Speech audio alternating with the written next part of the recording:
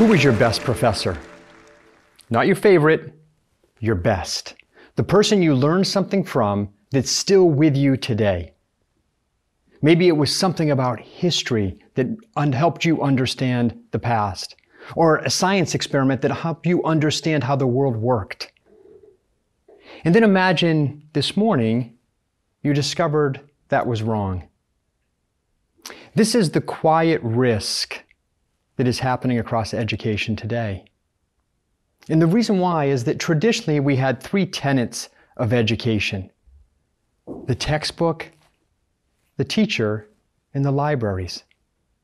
Textbooks were riddled with facts and information and academic review to ensure their accuracy. The teachers have dedicated their lives and their education to the very discipline on what they were teaching us. And then libraries were full of books and evidence and artifacts of our past. These were the core components to education. But the reality is, students and learners today have shifted from those core tenets and over to technology in generative AI. And that's where a core part of their learning is happening today.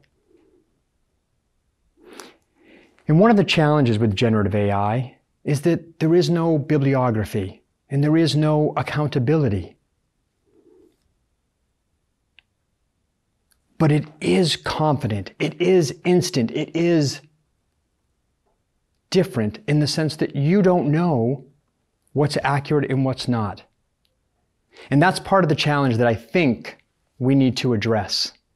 What does learning look like when knowledge is actually the question? I spent 25 years in technology and nearly a decade now at the intersection of education and technology. And in that time, I have witnessed firsthand what's happened to the transformation in the education industry. I've watched the shift from the traditional printed textbook over to digital based learning solutions. Traditional textbooks are built on accuracy and they have peer reviews, fact reviews. Even when they're being purchased, they get reviewed yet again. And when there is something discovered that may be wrong with a textbook, there's a process to get it corrected. And today with generative AI, that doesn't exist. So you have access without accountability. And that's one of the core challenges that I think we need to address. So the big question becomes, how do we ensure that there's accuracy beneath generative AI as it's used by students. I spoke at an event last year to 300 graduate students and their professors. And I asked the 300 students how many of them had used generative AI in the last semester of their learning, and they all raised their hands. I asked the professors how many of them had used generative AI in their syllabus in helping to teach these students. No one raised their hands.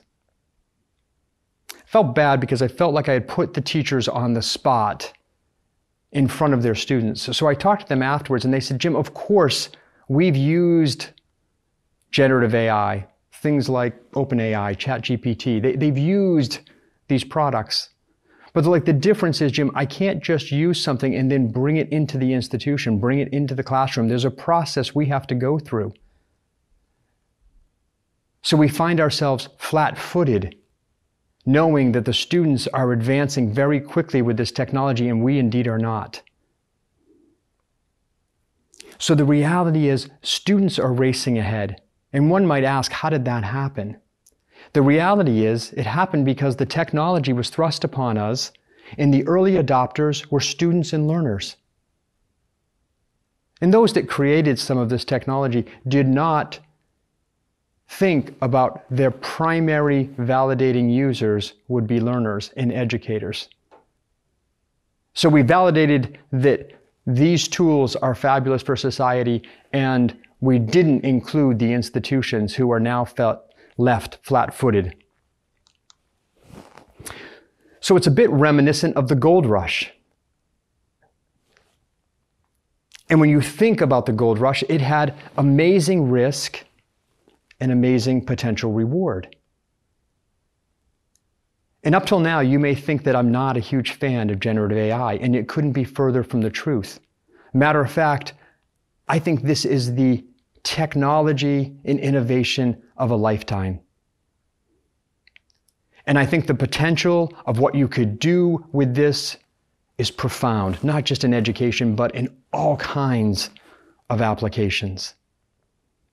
And when you think about the potential reward in education, the idea of personalized learning, the idea of you being able to spend some time with a topic anytime, day or night, and being able to go into your native language. If English is your second language, you could be able to do that with this technology today. And then we know, research has shown us that if all of us had a one on one tutor, we could see a full grade improvement as a result of that, but it's never been scalable, never been affordable. With this technology, that is possible. The notion of having someone that's available to you all the time that could help you move ahead in your education. And then finally, the scale and global reach. More than a billion people have used these generative AI solutions, meaning it's available to everyone everywhere. But just like with the gold rush, there's a catch. In the race to introduce generative AI, including education, there was not a lot of forethought in how this would be delivered or introduced. It was simply there. All of a sudden, it was available to everyone. And so we've seen this happen before with a revolutionary tool that was supposed to help us connect with each other and share information. And of course, that was social media. But the difference between social media and this is that social media is riddled with misinformation. It's everyone's opinions and ideas, regardless of its fact base. And if you take that same principle and you apply it to this, then we are on a very slippery slope about where we could end up with this technology. And we know from those platforms that misinformation and conspiracies are far more interesting than facts. People share that immediately because they see the excitement and the enthusiasm about something that may be real versus that is real. But for generative AI, is that this may not be optional like social media is. Once it's in the fabric of education, we won't be able to get it out. And Gen AI doesn't know the truth. It knows the next best word. That's what it's trained to do, is to understand the topic and the idea and creating what is the next best word that should follow. And experts predict that large language models will run out of data by 2026, just a year from now. And the reality is, they won't run out of data. They'll run out of free data. And then you start to wonder what happens as generative AI produces data and results? And what happens as you start to feed other generative AI as its data source? So take a small problem and now it's magnified and it's in the fabric of this technology. You can't get it out after that. This is a real problem that we need to be concerned about. And what happens when generative AI follows the path of social media, where engagement is more important than accuracy, where you prioritize clicks over credibility? It could shape learning even though it's not true.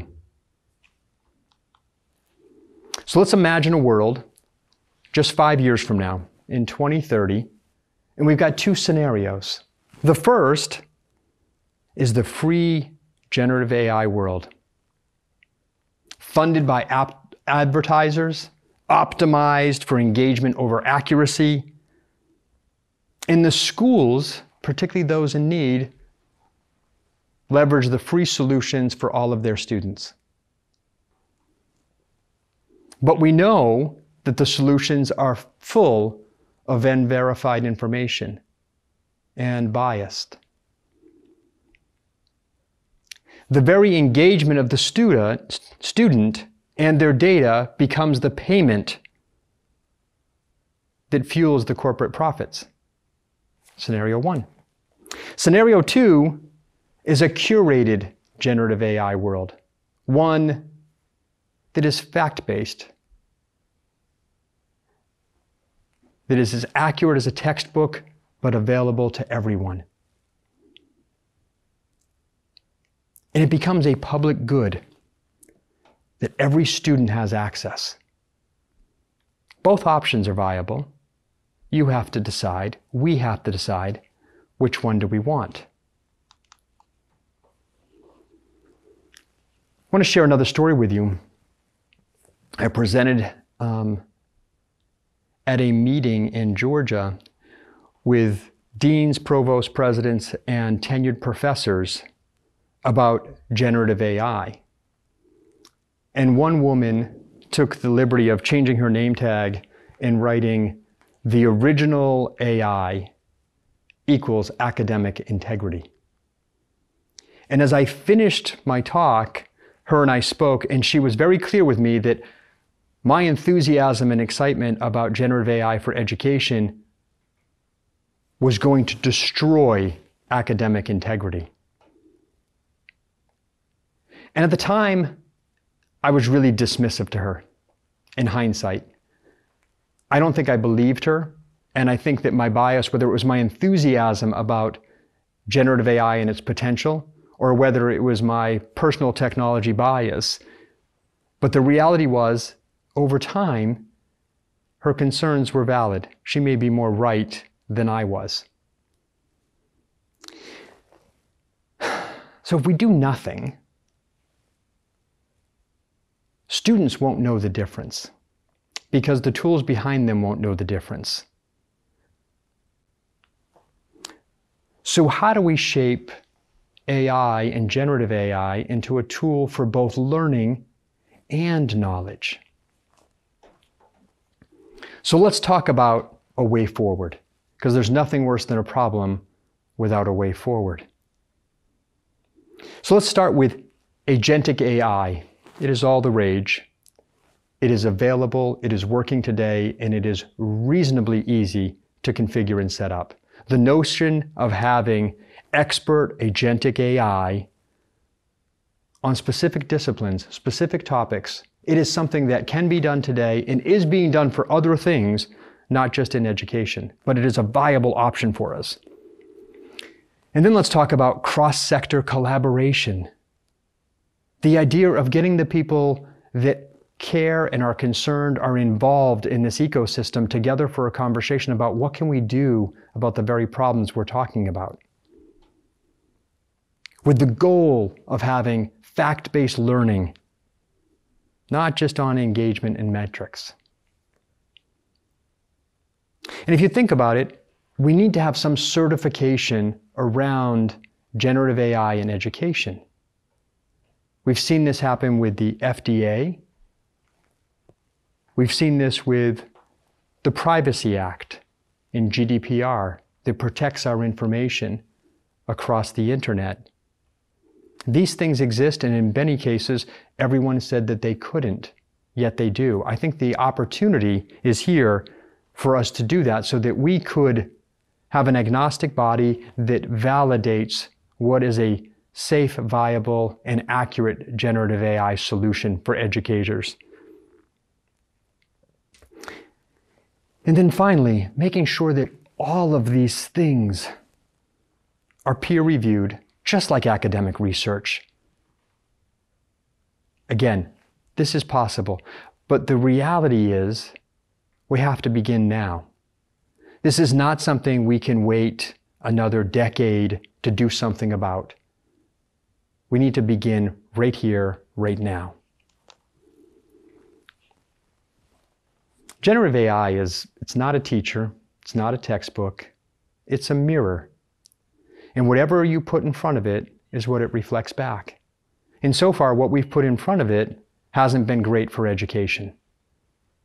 And I think that's a problem that is worth solving and a problem that is solvable. Because if we build that the way it is today, the very foundation of education, I fear,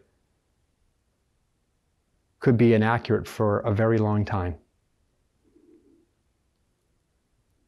And I think students today should trust the answers and the knowledge that they're gaining the same way that many of us did that had those core tenets of education I shared in the beginning the teacher, the textbook, and the library.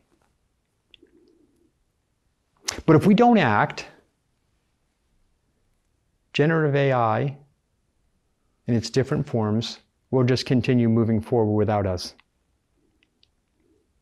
So the future of education is being written right now. The only question that remains is who is holding the pen?